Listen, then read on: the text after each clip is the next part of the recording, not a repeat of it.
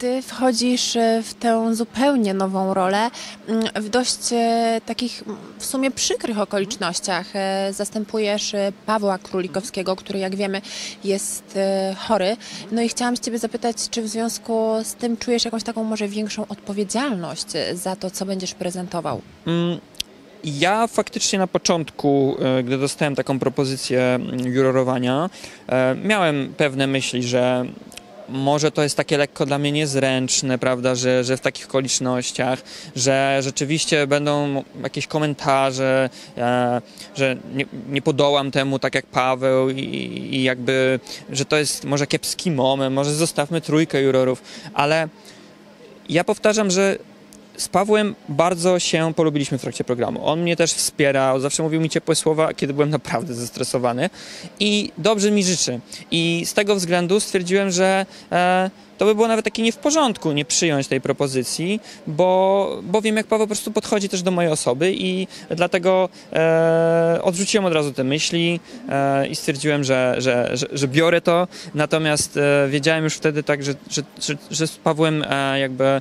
mm, są pewne problemy i ja tylko cały czas trzymam za niego kciuki, liczę, że tu przyjdzie do nas na publiczność, że sobie posiedzimy, że się pośmiejemy, a może wskoczy na- nawet za mnie gościnnie w tej edycji jeszcze. Zobaczymy. E, No właśnie, było tak, że pojawiły się mm, e, takie spekulacje, że być może e, Paweł dołączy do waszego grona, ale rozumiem, że ty jesteś zakontraktowany na całość edycji.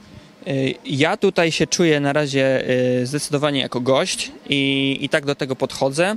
Mm, Dostałem tą propozycję właśnie, żeby, żeby, żeby zastąpić Pawła, natomiast cały czas podkreślam, że życzyłbym sobie, że Paweł wrócił tu do nas jak najszybciej do zdrowia, więc e, jakby, jakby chciał oczywiście, nie wiem czy tam, jakoś, jakoś się zmieścimy Paweł, spoko, spoko, wpadaj. Dacie radę, no to super, to najważniejsze. To jakim jurorem będziesz?